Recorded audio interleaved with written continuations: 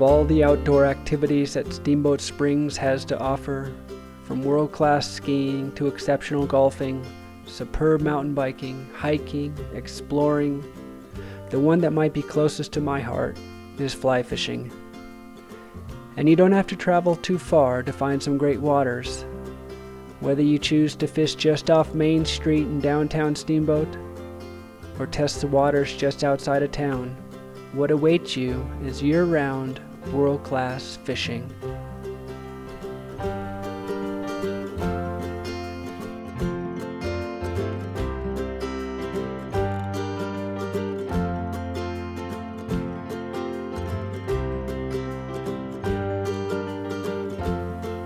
Steamboat offers many options for those fishing enthusiasts. There are two primary rivers that flow either through or near Steamboat Springs. Those rivers are the Yampa River and the Elk River. There's also some great stillwater fisheries near Steamboat Springs as well, mainly Steamboat Lake, Stagecoach Reservoir, Pearl Lake, and not to mention the many high altitude lakes that produce great fishing as well.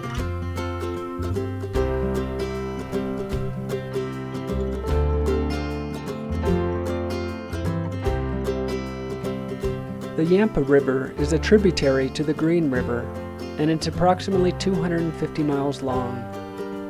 The Yampa River is the second largest watershed in the state of Colorado, which begins in the flat tops in northwest section of our state.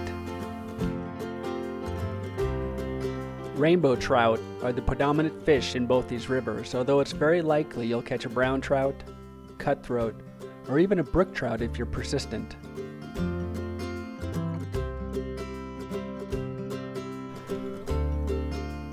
The Yampa is an anomaly in Colorado. Unlike most western rivers which have been dammed, diverted, or otherwise appropriated, the Yampa runs wild, although the average flows range from 90 to 120 cubic feet per second.